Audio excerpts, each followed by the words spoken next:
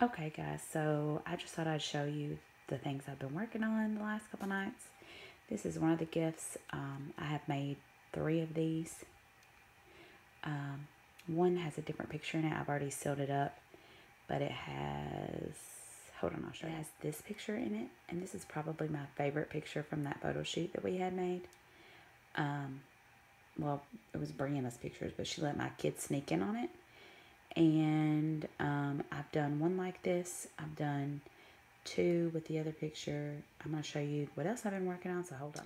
Okay, I made several of these as gifts too, and all these little things like this either came from Walmart um, after Christmas a couple years ago or from the Dollar Tree. Um, I made two, three, two of these, three of these, I can't remember. Um, and I've got to make one for Bree's mom too. I need to go do that before I forget. And then we made mistletoes for Edie. Um, tomorrow I have to do her hand print as well. But I made one of these for my in-laws too. Aren't they cute? So here's all our gifts. It looks like a lot, but it's really not.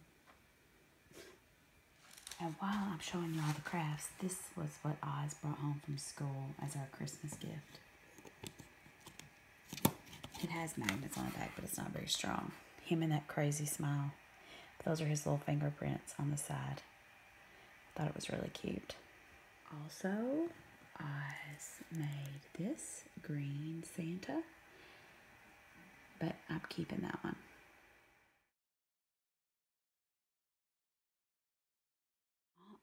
And I almost forgot to show you.